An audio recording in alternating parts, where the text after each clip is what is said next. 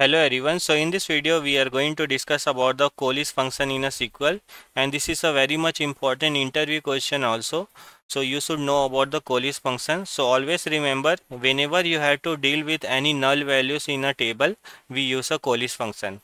What is the definition? Whenever you have to deal with any null values in the table, we use a COALESCE function. Let's take one example and let's try to discuss about the few scenarios.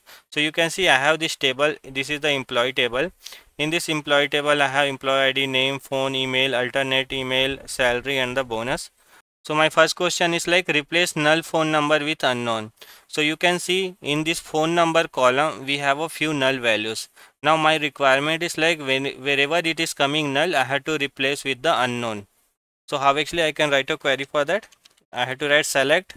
Suppose I am taking one name column and after that phone number column. So what I will use?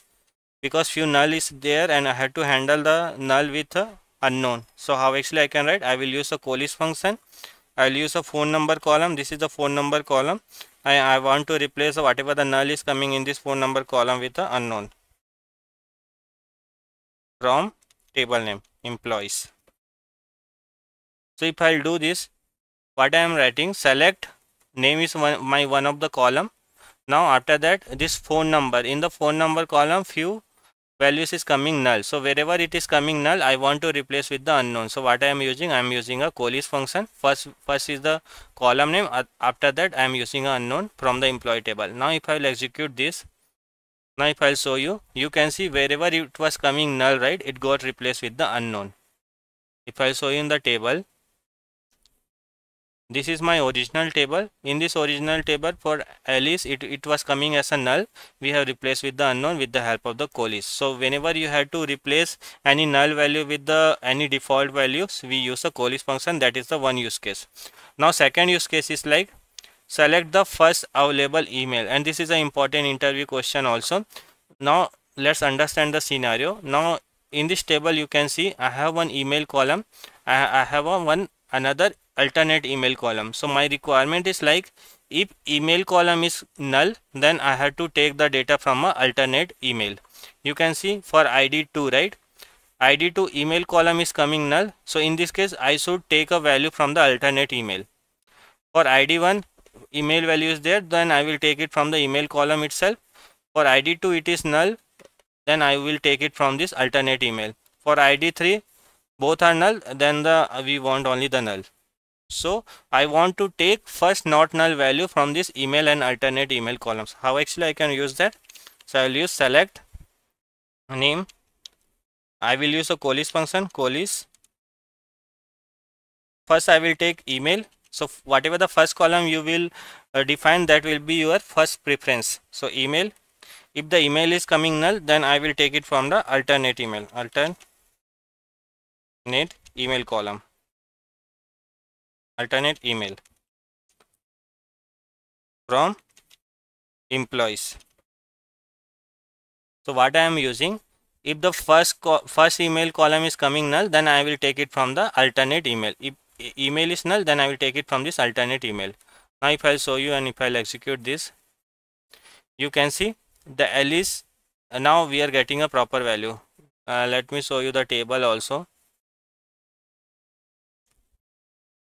now if you will see this is my table. Now in this table for employee id 1 alice example is there. So i have taken for alice aliceexample.com is coming. For id2 Bob email column was null. So what actually it has done? It has taken from this alternate email. So you can see bob dot example is coming. For id3 for charlie both the column is null. That's why null is coming. But suppose uh, what actually you want? You want to replace this with unknown. So what actually you can write comma COALESCE unknown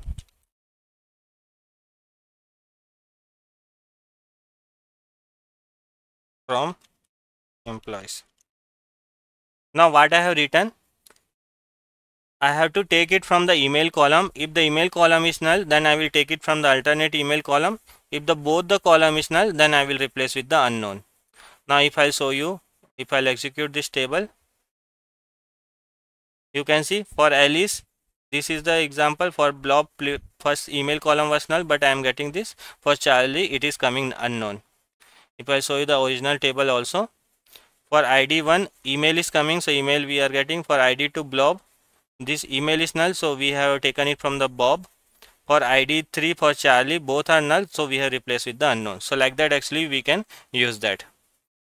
Now my third question is like uh, calculate the total compensation salary so if i show you in this table this is the table. Now what i have to find out? Total compensation means salary plus bonus i have to do. But you can see in the bonus column few values are coming null.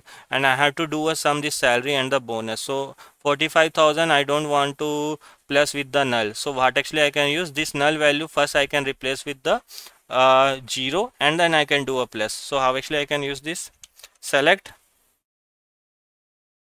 salary plus police and a bonus.